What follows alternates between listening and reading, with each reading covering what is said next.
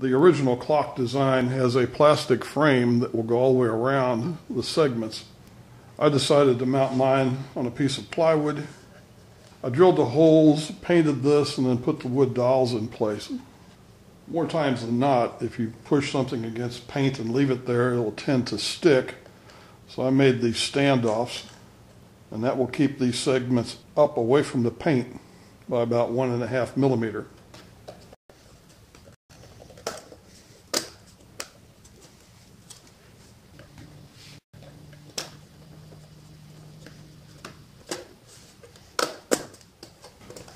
I made these caps that go over these wood dowels, and each cap has the center located.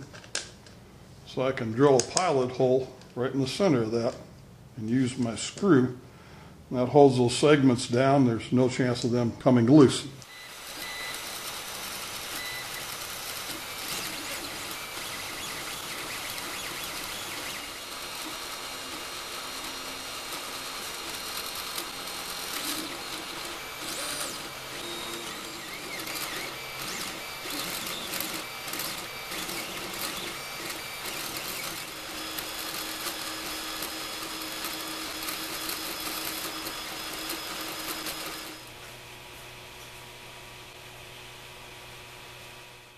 All the caps are in place, the servos are installed, little screws hold the servos in place.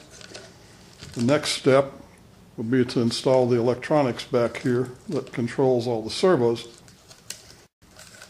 And it is my intention to make a frame to go around this, possibly with a piece of glass across here.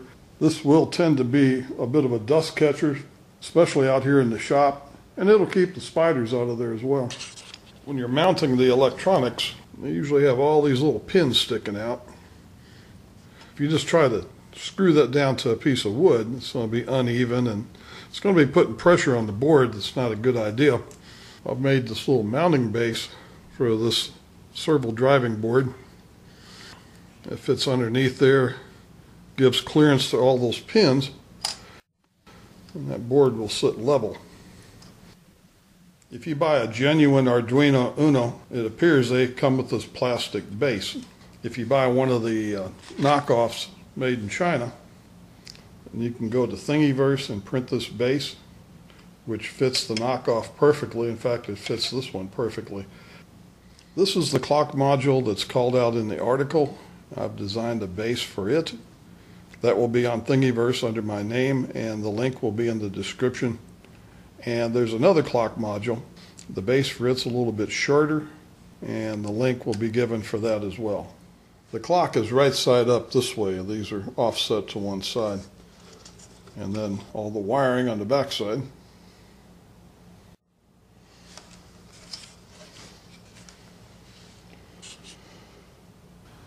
These two servos look alike, but they're not. They are both sold as SG90 servos. I bought this one several years ago when I was putting the conductor in my Senior 20 organ, and it has four screws on the bottom. Now, they only put two screws in the bottom. And this section right in here is a bit taller. The original base design for this clock, this distance was drawn to fit the old SG9 servo when you went to put the new one in, this slot was too short. I had printed all the bases for this first clock before I received my servos. When I got the servos, I found out that they would not fit in these pockets. It takes a lot of time to print one of these and quite a bit of material. And I chiseled these out until this would fit. Once all the pieces are put on the clock and this is in a frame, you won't be able to see that anyway. I sent an email to the man who designed this, OTVinta, and explained the problem to him, and he redesigned these pockets so they're a little longer, and the new servos will fit right in there.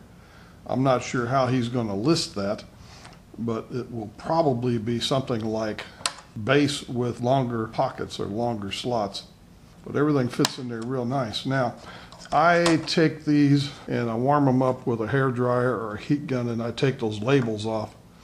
I think it looks a lot neater and cleaner without those on there. I'm using two different designs to build my clock. The physical build is the OTVinta design, which used Raspberry Pi and had wireless communication with a computer to update the time. I'm using the Uno and the servo drivers and the real-time clock along with the sketch from another clock design. And I'm hoping that the real-time clock will keep fairly accurate time.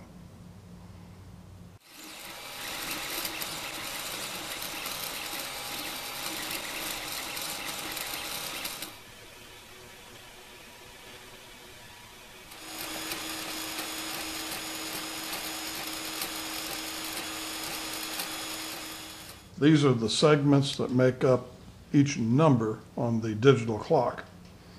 You print the segment, and you print a contrasting color.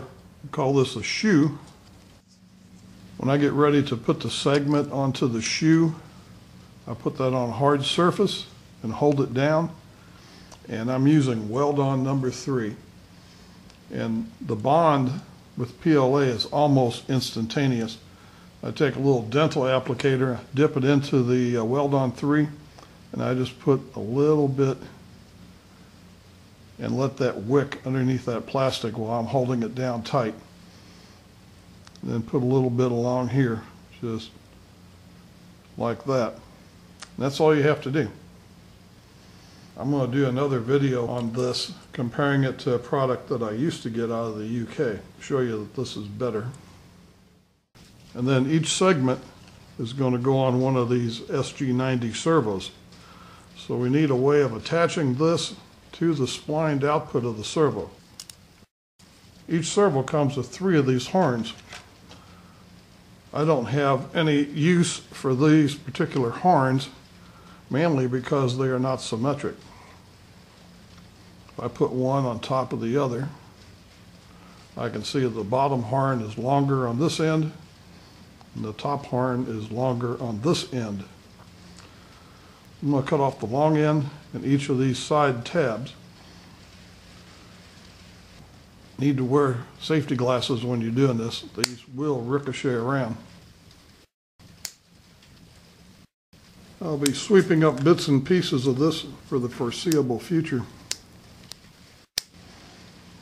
And when you put this in here, this round part of the hub has to butt up exactly against this. The design on these is really good. These horns go in here, they're tight. Now take a screwdriver and just push up on that until that butts up all the way against that that one didn't go in there far enough. So I've got a little something in here still in my way. And if you have to, just clip the end off of that. There may be a little piece of plastic in there off the 3D printer.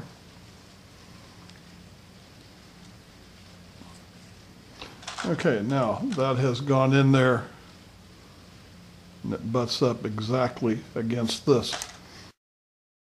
This horn pushed into this segment is in there real tight and I don't see any need for glue on this at all. And now this will go onto the servo like that. And then one of the servo screws will go in here and tighten it onto the servo output shaft and then that piece will, will rotate.